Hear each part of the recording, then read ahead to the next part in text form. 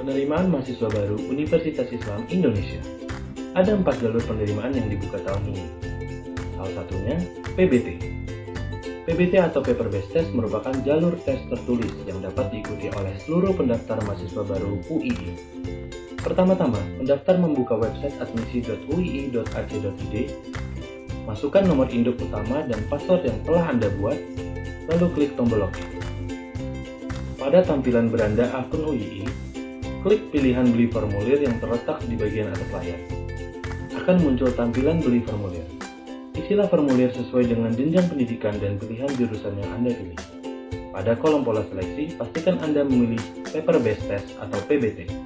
Lalu, klik beli formulir. Setelah itu, Anda akan mendapatkan nomor tagihan, lalu membayar biaya pendaftaran dengan menunjukkan nomor tagihan di loket, bank, atau ATM sesuai dengan nominal biaya yang telah ditentukan. Tahap selanjutnya adalah menyerahkan kartu ujian yang telah dicetak dengan tinta warna, melakukan perekaman sidik jari, dan menyerahkan berkas pendaftaran yang berupa fotokopi identitas dan slip pembayaran pada saat ujian. Anda dipersilakan untuk mengerjakan soal ujian PBT langsung di lokasi kampus terpadu. Setelah melakukan tes, Anda menunggu pengumuman di akun admisi.ui.ac.id.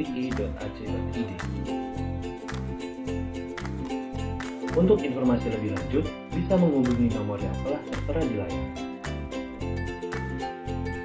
Terima kasih dan semoga berhasil.